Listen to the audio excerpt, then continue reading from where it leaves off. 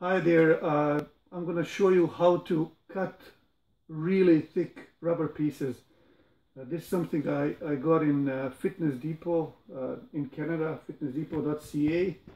It's called Slab Mat. It's about three quarters of an inch thick and it's really sturdy but it's really tough to cut. Uh, I'm using this as a gym flooring material and, and I'm going to show you how to do it. So uh, it comes in a 6 by 4 uh, feet uh, slabs and again 3 quarters of an inch uh, thickness. So the materials you'll need, safety first, gloves, uh, goggles, some knee pads, uh, cutting knife, the, the sharper the better, a piece of chalk, some sort of a ruler, and some pieces of, of uh, thick wood. So we'll start by measuring, uh, marking the what what needs to be cut. So I already marked my outer edge here. It's not clearly visible, but I extended it so it is.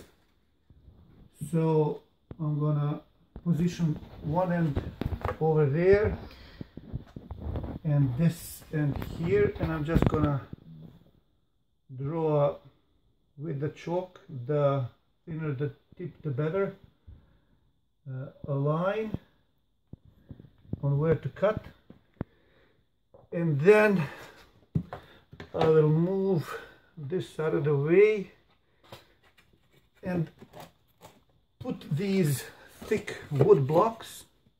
It really helps when you bend this rubber to to apply some uh, to apply some pressure then it's cut much faster and, and, and easier. So this is the this is the how it should be. It shouldn't be straight underneath. It should leave some room. And it should be uniform throughout so straight. And then I'm gonna get something to protect my fingers and also to create a straight line. So I'll just continue here. So because the wood the, the rubber is bent it'll be easier to cut through. So again the thicker the better the knife. And you just keep going. This is amazing speed. It took me some time to crack this method. But now it's really going fast. So that's about it. Happy cutting